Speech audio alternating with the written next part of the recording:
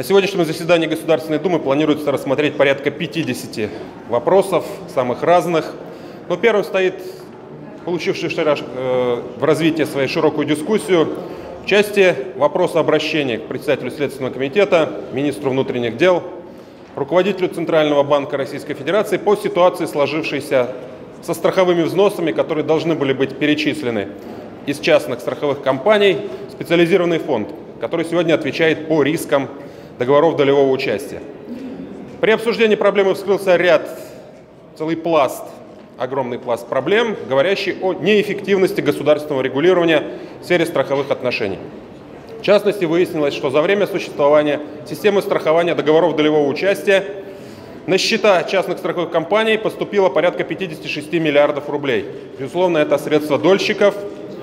К большому сожалению, подавляющее большинство этих средств исчезло в неизвестном направлении. Страховые обязательства не выполнялись, э, страховое возмещение получили единицы, а из планируемых 10 миллиардов, которые частные страховые компании к 1 сентября должны были перечислить в государственный фонд, перечислено чуть меньше 4 миллиардов рублей.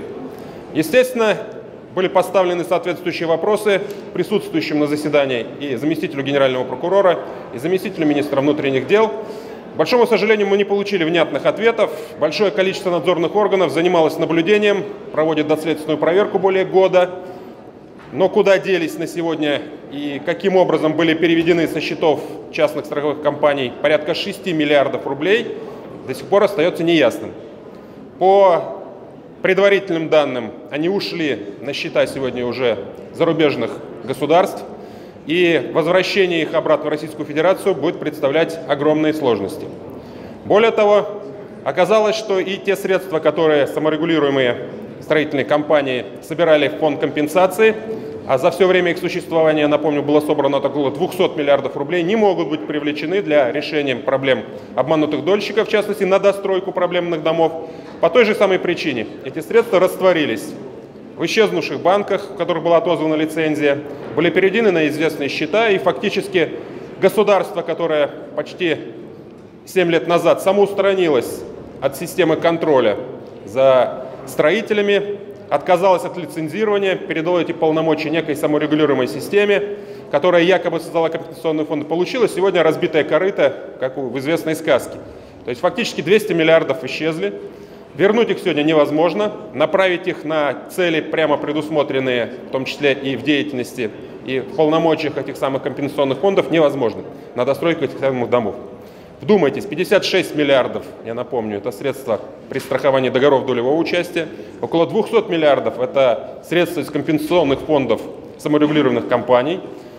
При обсуждении обнаружилось, что еще порядка 180-200 миллиардов рублей исчезло и из другой системы страхования, системы ОСАГО, с которой очень часто сталкивался. Так вот, анализ, проведенный за последние несколько лет, показал, что разница между тем, что страховые компании собирали с граждан в виде соответствующих взносов обязательных на ОСАГО, и тем, что они выплатили, составляет порядка 180-200 миллиардов рублей. И опять же, эти средства исчезли в неизвестном направлении, ну а по данным некоторых источников, опять же, переведены на счета офшорных компаний и выведены сегодня из России. То есть фактически граждане Российской Федерации в данном случае при вот таком невнимательном, мягко говоря, участии государства понесли огромные потери.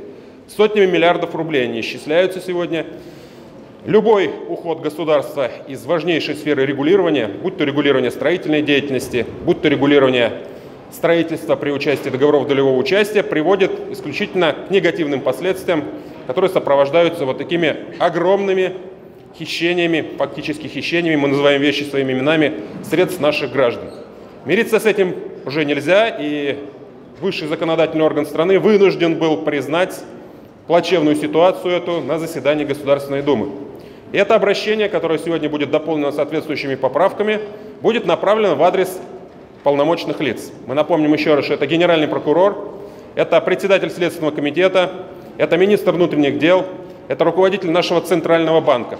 Потому что именно бездействие или недостаточное внимание к этой проблеме со стороны данных должностных лиц их подчиненных привело к подобного рода ситуации, к тем огромным чудовищным потерям, которые произошли и которые сегодня демонстрируют, ярко демонстрируют фактически государственную импотенцию вот по такой важной сфере, такой важной сфере, как строительство, как права граждан, как защита интересов огромного числа россиян.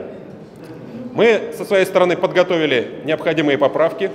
Мы будем эту требовать рассмотрения в теме более широком варианте, чем предлагалось первоначально, ограничившись лишь страховыми компаниями по договорам долевого участия. Безусловно, это будут СРО, безусловно, это будут страховые компании, занимающиеся страхованием гражданской ответственности.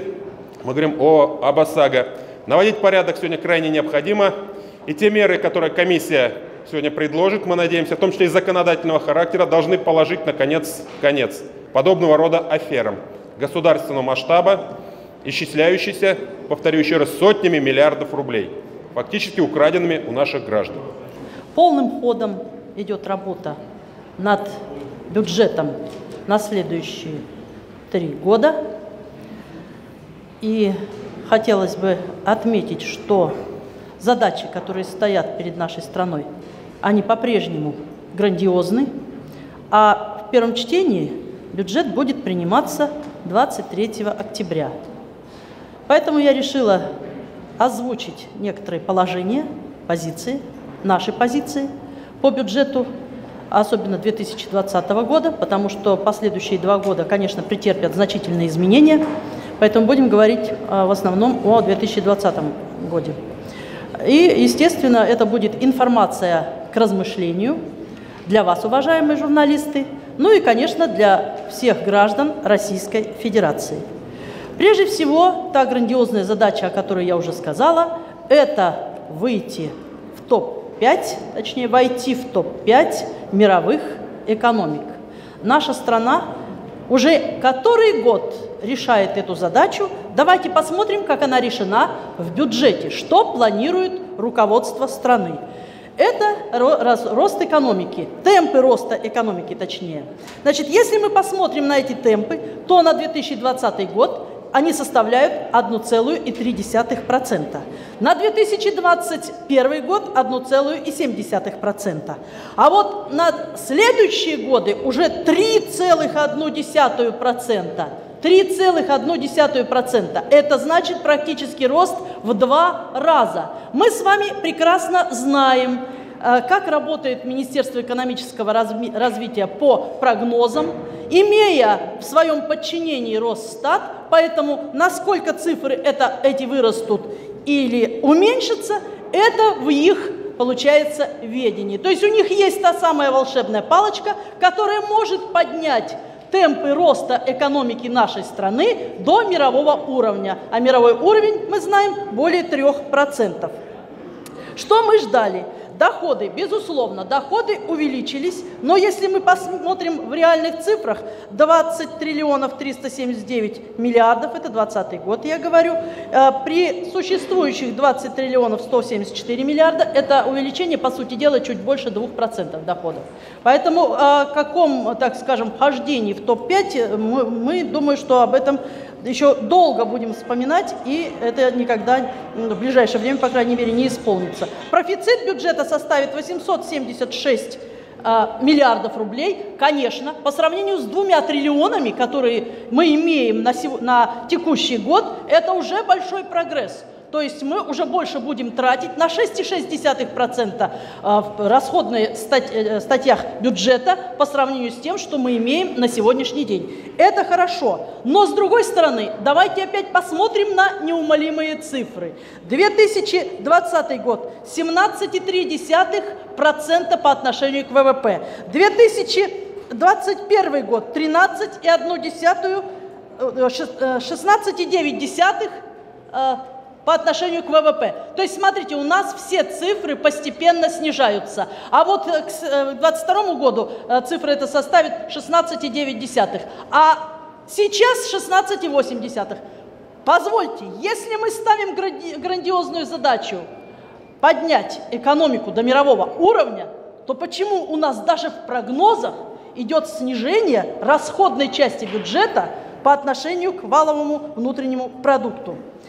Хотелось бы отметить, что многие ожидали, что с этого года в связи с, э, так скажем, пожеланиями президента э, изменится и структура нашей экономики. Да, действительно, она меняется. Сегодня не нефтегазовые доходы увеличиваются по сравнению с нефтегазовыми. Но за счет чего? Во-первых, в бюджете установлены другие цены. Было 62 доллара за баррель, теперь 57 долларов за баррель. Дальше, давайте, если мы возьмем рост выпадающих доходов, которые мы получим в бюджете из-за беспрецедентных льгот налоговых для нефтегазовой отрасли, это тоже войдет вот в эту же самую копилку. В результате что мы получаем? А давайте посмотрим прямо по цифрам. Мы же сегодня говорим об импортозамещении, мы сегодня говорим о том, что мы должны э, иметь драйвером нашей экономики, во-первых, отрасли промышленности обрабатывающей и, естественно, экспорт. Давайте посмотрим по цифрам. Вот смотрите, 65,6%, вот я говорю по этому году. А следующие годы ничего ведь не изменят.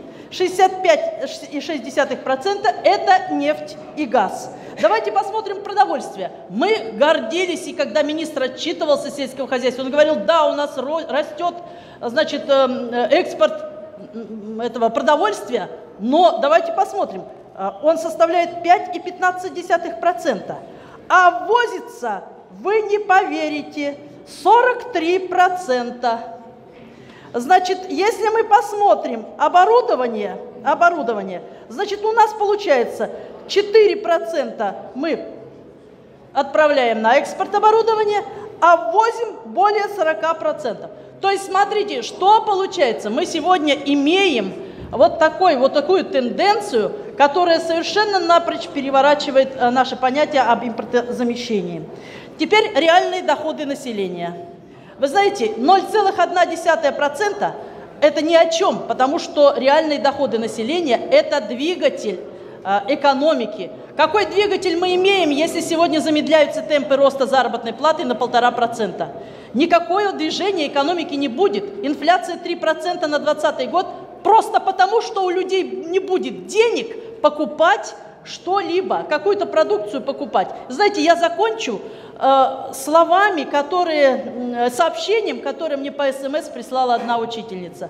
Она мне написала, выдали квиточек по, зарапла- по заработной плате, сижу и плачу, потому что зарплата не только не выросла, она и уменьшилась. Я посчитала все, все ее надбавки зарплаты, она составила 23 тысячи рублей. Так вот, как мы можем двигать экономику вперед, имея такую заработную плату и такие доходы, реальные доходы у населения? Спасибо.